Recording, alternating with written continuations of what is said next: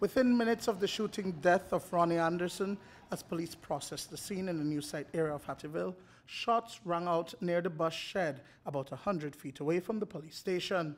In the grass lay the body of Kenroy Danderson. The Hattieville resident was targeted by a gunman who, despite the proximity of the station, carried out the broad daylight execution. Around 10:20 a.m., police visited an area near the bus stop in Hattieville village where they observed the motionless body of Kenrick Danderson, 45 years, with gunshot injuries. Information received that he was in that area waiting for a bus when he was approached from across the street by a male person who fired several shots at him, causing the fatal injuries. Uh, again, investigation is ongoing into this matter. Danderson is no stranger to the law. He lived several blocks away from where he was killed. As the echo of the blasts rippled through the village, residents would run out to find him dead on the ground. By then, the shooter was long gone.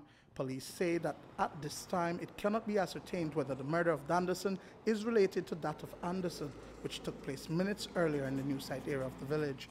These murders 10 minutes apart, broad daylight in a small village. Are they related?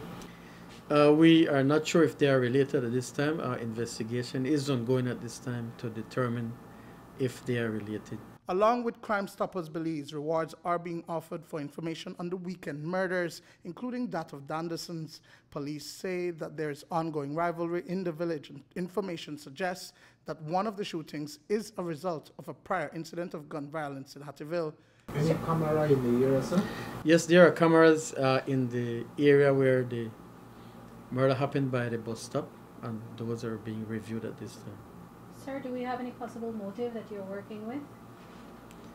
Yes, we have several uh, leads and, and, information that we are following up upon uh, for both uh, murders.